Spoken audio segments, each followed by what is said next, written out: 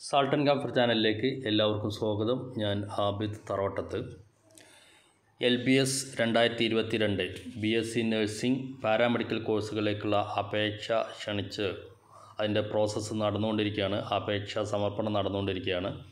ഇപ്പോൾ B S C നഴ്സിങ്ങിന് എത്ര വരെ ഏതുവരെ റാങ്കുള്ളവർക്കാണ് ഗവൺമെന്റ് കോളേജുകൾ കിട്ടിയിരിക്കുന്നത് എന്നുള്ളതിനെ പറ്റി കഴിഞ്ഞ ദിവസം ഞാനൊരു വീഡിയോ ചെയ്തിരുന്നു.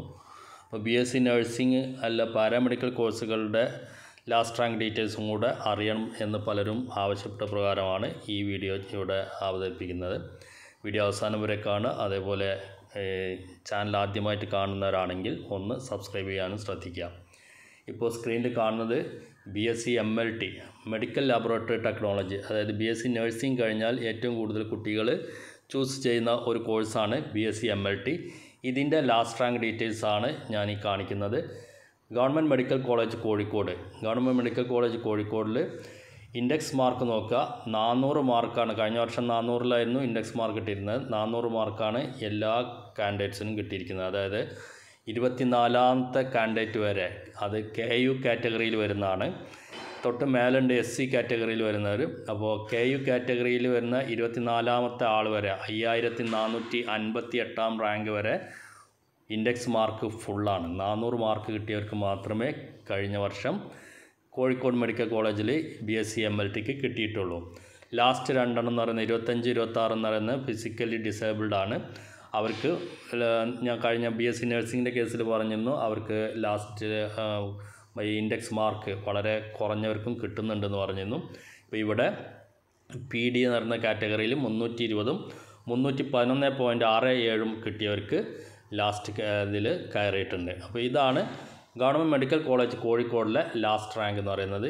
ഇനി നമുക്ക് ഗവൺമെന്റ് മെഡിക്കൽ കോളേജ് തിരുവനന്തപുരം ഒന്ന് നോക്കാം.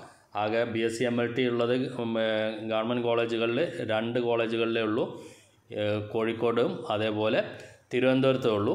തിരുവനന്തപുരത്ത് എന്താണ് ഈ കാണിക്കുന്നത്? അവിടെയും ഇൻഡെക്സ് മാർക്ക് ലാസ്റ്റ് വരെ നോക്കുക.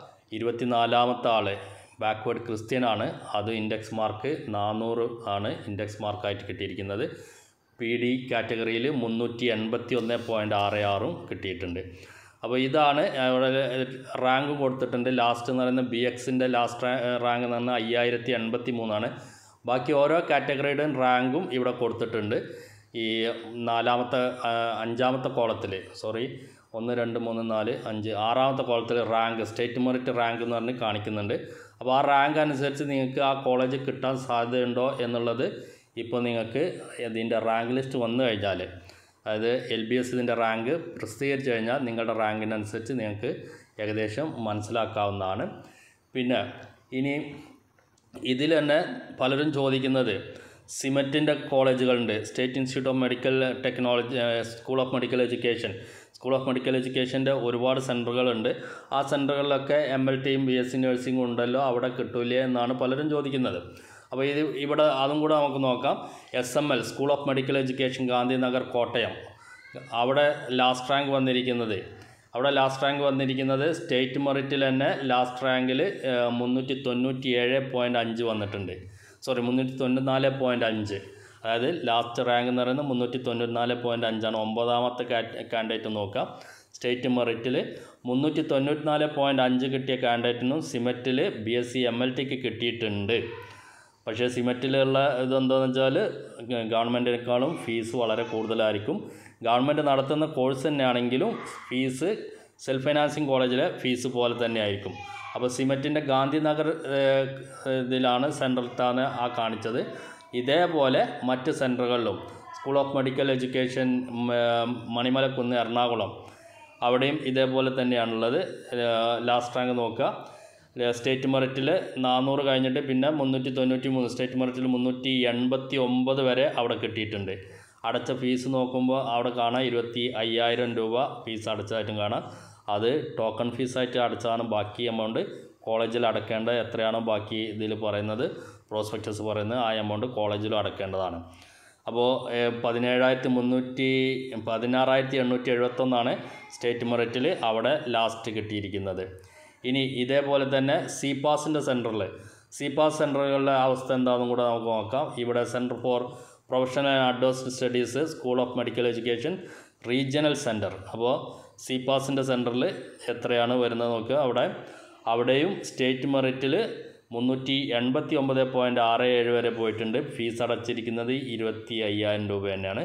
അപ്പോൾ സി പാസിന്റെ സെന്ററിലും ഗവൺമെന്റ് ഇൻസ്റ്റിറ്റ്യൂഷൻ ആണെങ്കിലും പ്രൈവറ്റ് സെൽഫ് ഫൈനാൻസിങ് കോളേജുകളുടെ അതേപോലെ തന്നെയാണ് ഫീസ് വരുന്നത് എന്നുള്ളത് മനസ്സിലാക്കുക അപ്പോൾ ഗവൺമെന്റ് കോളേജുകളിലല്ല കിട്ടുന്നതെങ്കിൽ ഫീസ് വ്യത്യാസം ഉണ്ടാവും ഇൻഡെക്സ് മാർക്ക് കുറഞ്ഞവർക്കും ഗവൺമെന്റ് കോളേജുകളല്ല പ്രൈവറ്റ് സെൽഫ് ഫൈനാൻസിങ് കോളേജുകളിലും അതേപോലെ ഗവൺമെന്റിന്റെ കീഴിലുള്ള ഇത്തരം സി പാസും അതേപോലെ S I M E T പോലുള്ള ഇൻസ്റ്റിറ്റ്യൂഷൻസിലും കിട്ടുന്നുണ്ട്.